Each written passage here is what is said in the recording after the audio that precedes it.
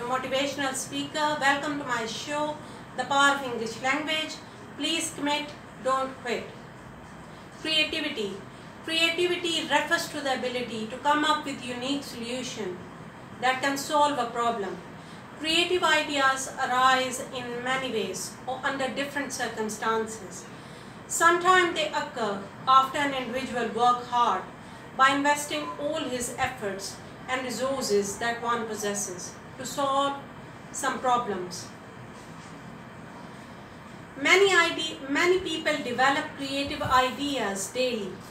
The need to come up with better solution to challenges that people encounter invokes creativity. Sometimes they end up by appearing and disappearing in people's mind because they are either unrealistic or the owners do not give them the second thought. Innovation have attracted the commercial values because they help to solve the critical problems. Therefore, whenever changes arise, innovators look for the way to commercialize them. In public administration, creativity is very important. It helps individuals as well as organization to react new challenges and opportunities to develop positively.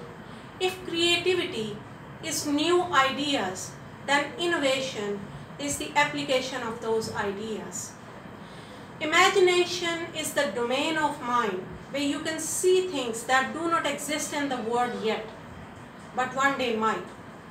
Imagination can also define as well as the capacity of shaping the mental pictures and ideas to react better changes, to result better changes. Creativity does not require money, but innovation requires money. Thanks for watching my show, The Power of English Language. Please like and subscribe my channel and also press the bell icon. Don't forget to like and subscribe. See you in the next time. Till then, take care of yourself. Assalamu alaikum.